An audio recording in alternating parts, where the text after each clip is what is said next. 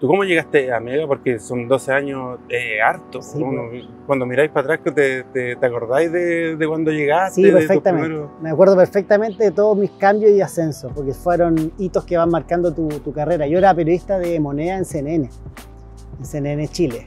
Y ahí coincidía en reporteo con la Carola Aguirre, que es la hija del actual ministro de, de las Culturas Sí, y las Artes.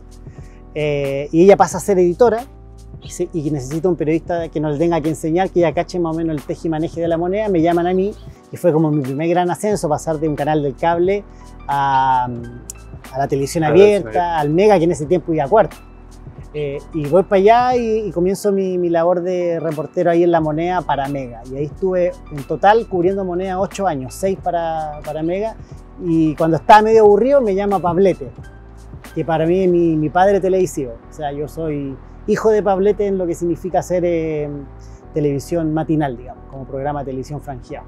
Y ahí me llama y ahí se genera una pugna porque está en ese momento Jorge Cabeza de jefe de prensa y me dice, vas a tomar la peor decisión de tu vida, irme al matinal. Y digo, bueno, que así sea. Y como que le, ya, le dije, Pablete, acá te la tenés que jugar tú, yo me voy a lanzar al, al agua, necesito que me vayan a recoger con unos unos Zodiac.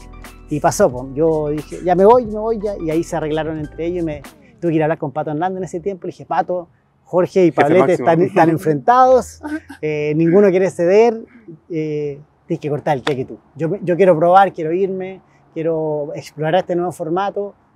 Y ahí Pato Hernández me dijo, ¿sabes qué? Yo creo que va a ser bueno para ti y para el canal. Démosle. Y ahí recalé en el Mucho Gusto y la historia ya me, media conocida. Llegué hasta animar el Mucho Gusto. Sí.